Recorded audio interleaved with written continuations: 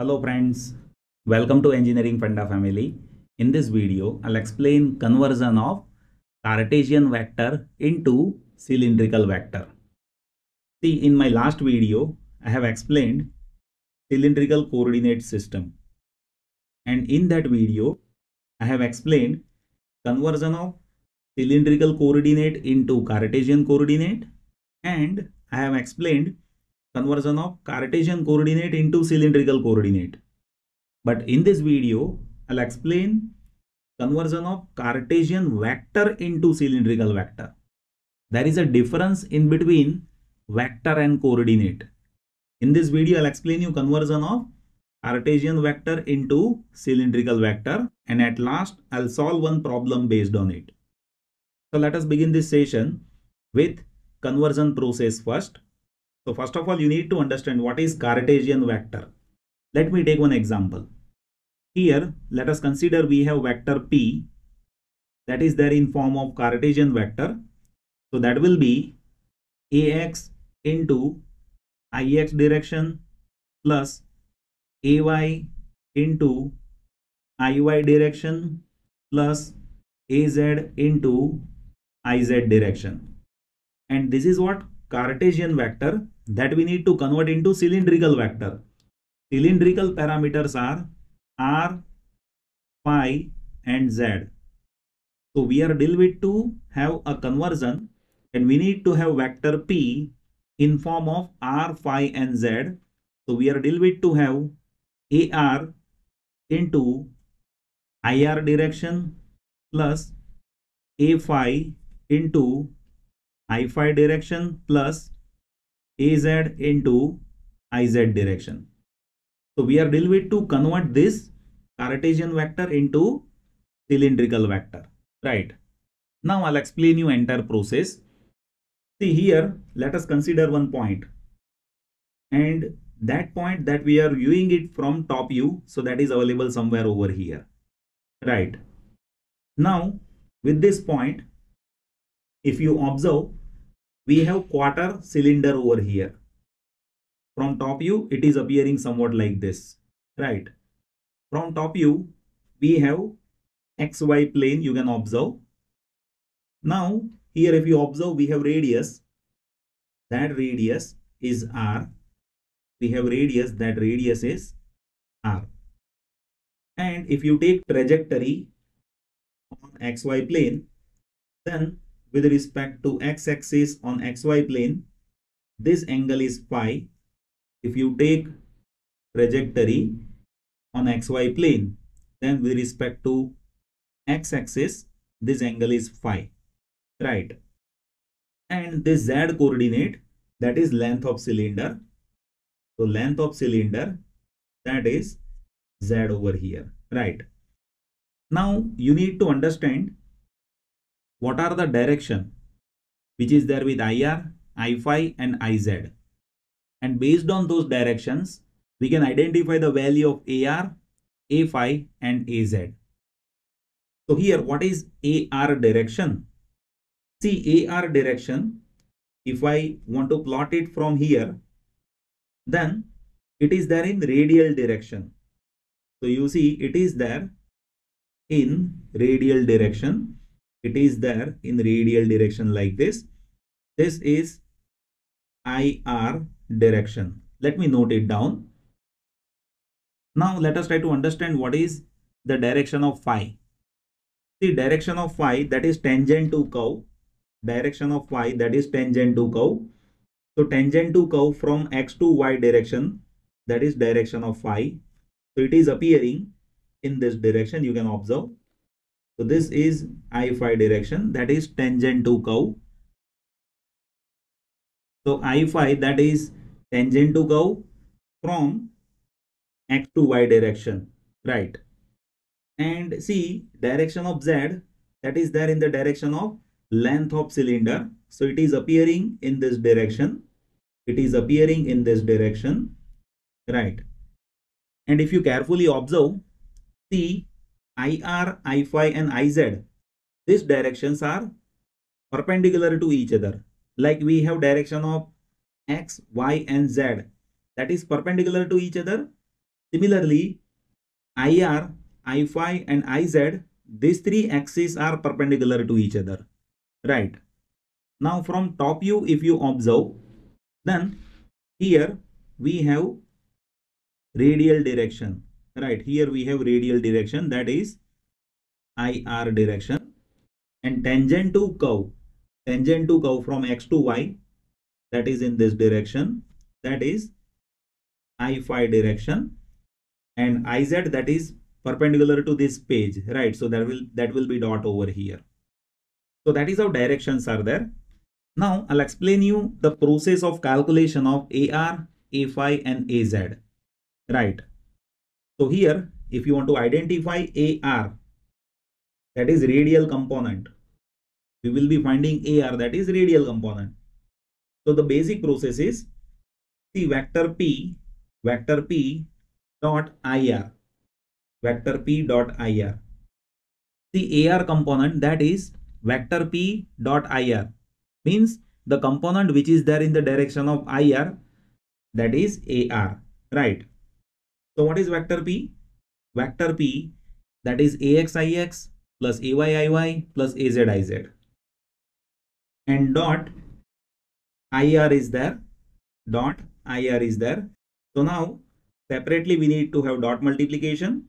So ax into ix dot ir is there with us.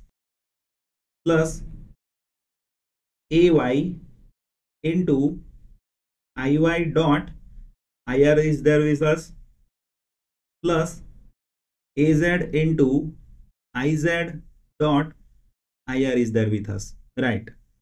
Now based on angle based on angle we need to identify this dot multiplication. So here first of all we need to identify angle of x and r. So here if you observe see this is x-axis and this is the axis of radial direction means direction of r. So angle between x and r that is phi over here right? So let me note it down. Here angle is phi if you observe this is what? Y-axis and this is radial direction. So angle between y and radial direction that is if this angle is phi then this angle will be 90 minus phi so here angle is 90 minus phi and angle between IR and Z so here we have IR and we have IZ the angle between IR and IZ that is 90 degree so here we have 90 degree angle, right? Now based on these angles, we can easily say this AR that is AX into as per cos we will be having calculation. The reason is dot multiplication explains what? Dot multiplication explains cosine component. So angle is phi. So Ix dot IR that is cos phi.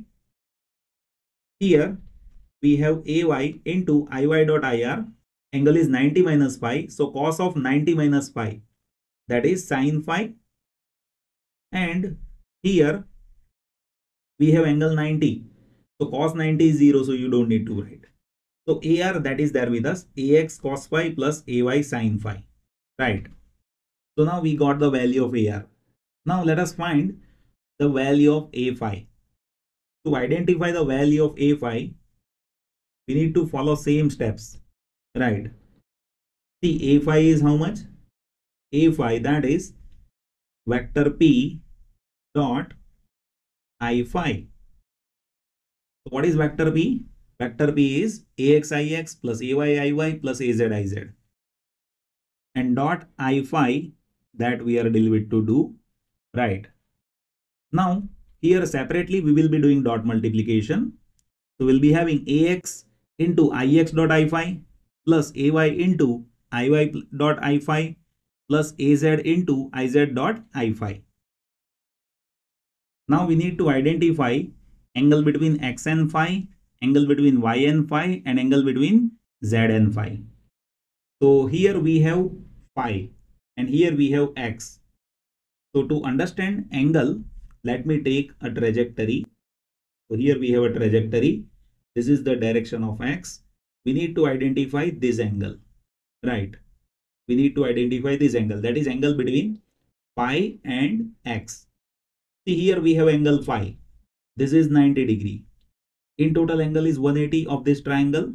So what is this angle? This angle that has to be 90 minus phi. Right, this angle that has to be 90 minus phi. And see here this much angle that is 180. So what is this angle? That will be 180 minus this much angle that is 90 minus phi. So 180 minus 90 that is 90 minus minus plus phi. So angle between phi and x-axis that is 90 plus phi. So let me note it down. Here we have angle that is 90 plus phi that is angle between x and phi. Now we need to identify angle between y and phi. So y-axis is this and phi is there in this direction. So you need to take a trajectory of phi. So that is happening somewhat, somewhat like this. Then observe it is happening somewhat like this. Now if you carefully observe this trajectory, right? So this angle, this angle that is exterior angle of this, right? This angle that is exterior angle of this means if this angle is phi, then this angle has to be phi only. So angle between phi axis and y axis that is phi. So here we have angle that is phi and angle between z and phi. So you see phi is there in this direction, iz is there in this direction, this angle is 90. So this angle is 90, right? Now here we have ax into cos of 90 plus phi that we will be having cos of 90 plus phi that is minus sine. So here we will be having minus ax sine phi. Here we have angle phi. So we will be having ay cos phi. And here we have 90 angle. So cos 90 is 0. So this will be 0. And az that is equal in both. So you don't need to convert az. az is same for Cartesian vector and cylindrical vector.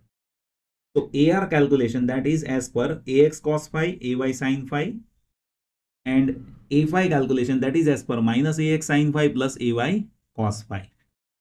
Now we will solve one problem over here. So to understand problem here we have been given with Cartesian vector you can observe and we need to convert that into cylindrical vector right. So to convert this in cylindrical vector form first of all you need to have angle phi Based on angle phi only, we can convert this. So what is angle phi? See, angle phi, that is, I have explained that in my earlier videos. Angle phi, that is tan inverse y by x, right? So angle phi, that is tan inverse y by x. Here we have x that is 2 root 3 and y that is 2. So 2 divided by 2 root 3. So we have tan inverse 1 by root 3 and 1 by root 3 tan inverse is how much? It is 30 degree. So now we have angle phi that is 30 degree. Right. Now we need to calculate AR first. So what is AR?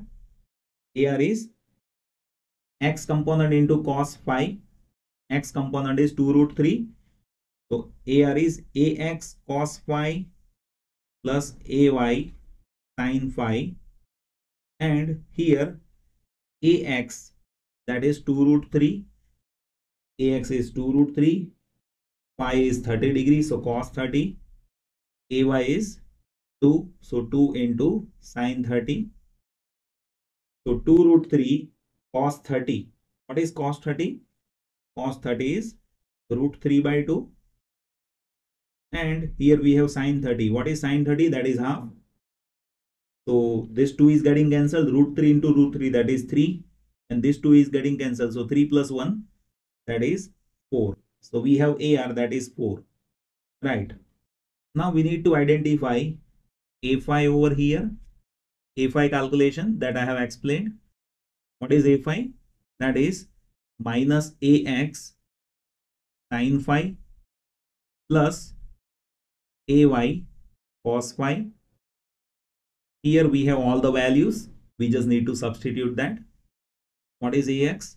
That is 2 root 3. So minus 2 root 3 sine 30 plus ay that is 2 2 cos 30 so minus 2 root 3 sine 30 is half plus 2 into cos 30 cos 30 is root 3 by 2 so here this 2 is getting cancelled this 2 is getting cancelled minus root 3 plus root 3 that will be 0 so a is 0 and one should know az that is as it is that is 4 only right? So now we have all the coordinates. We can represent this vector into cylindrical vector now. So now our cylindrical vector is vector f that is ar that is 4 so AR into IR direction plus A phi into I phi direction plus AZ into IZ direction. Here AR that is 4. So 4 IR A phi that is 0 and AZ that is 4. So plus 4 IZ that is how I can represent this vector in form of cylindrical vector. Right. So that is how basic process is there for a conversion and you need to remember these two equations for cylindrical vector. These two equations are very essential. AR that is AX cos phi plus AY sin phi and A phi that is minus AX sin phi plus AY cos phi. And one should know the basic process and if you do this practice one or two times then definitely you can easily solve this in examination but remember how to follow the process right thank you so much for watching this video. Still if anything that you'd like to share just note it down in comment section. I'll be happy to help you. Thank you so much for watching this video